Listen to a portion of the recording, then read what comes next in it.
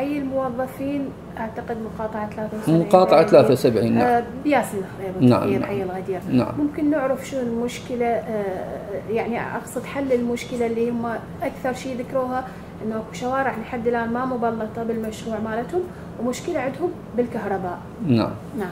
الافراز 73 اللي هو وزع السيد محافظ البصرة مؤخرا نعم. آه، إلى آه، موظفي البلديات. آه، من ضمن الإفرازات اللي وزعت من قبل السيد محافظ البصرة آه، وزعت آه، بنفس المقاطعة آه، آه، إفراز 81 للأكاديميين وإفراز ال 75 لشهداء ذوي شهداء الحشد الشعبي رحمهم الله ومقاطعة 73 آه، وزعت إلى الموظفين البلدية. طيب هذه الثلاث مقاطعات إن بعد ما وزعها السيد محافظ البصرة تقريبا 2018 ب 2019 تحولت إلى مشروع.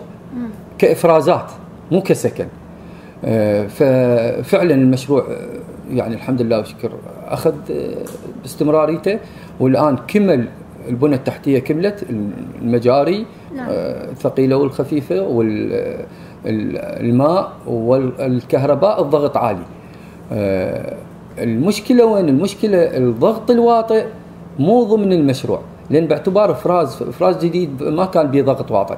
فقط فقط ضغط واطئ اللي هو 33 نعم. آه، كيفي. فالآن إن شاء الله ضمن المشروع ضمن موازنة 23 إيه. ينحال آه، الضغط الواطئ حتى يقدرون الناس يسكنون المشكلة وين صارت بهذه المقاطعة آه، 73 فقط الأكاديميين بعد افرازات وحتى ال 75 طيب. بس بمقاطعة 73 آه، صارت بها حركة إعمار بحيث آه، سكنوا المواطنين قبل لا تكمل المنطقة آه. فهنا صار التضارب بين إنه المنطقة بعدها ما ما كاملة. باعتبار إفراز جديد آه، يعني تو الحال. انسكن من عندها تقريبا يعني هي المقاطعه تقريبا 1600 بيت. طيب. انسكن من من عندها ما يقارب بالاكثر من 300 إلى 400 بيت الآن.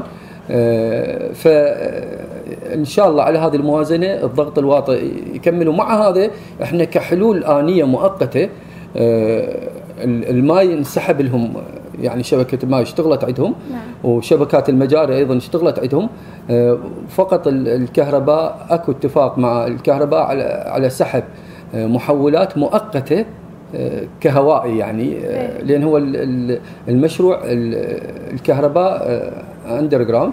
دفن نعم. مو هوائي نعم. بس صار شيء مؤقت لين سكنت ناس به شيء مؤقت راح يصير آه، ينسحب لهم محولات كهرباء هوائي إلى حين إكمال آه، المشروع اللي هو underground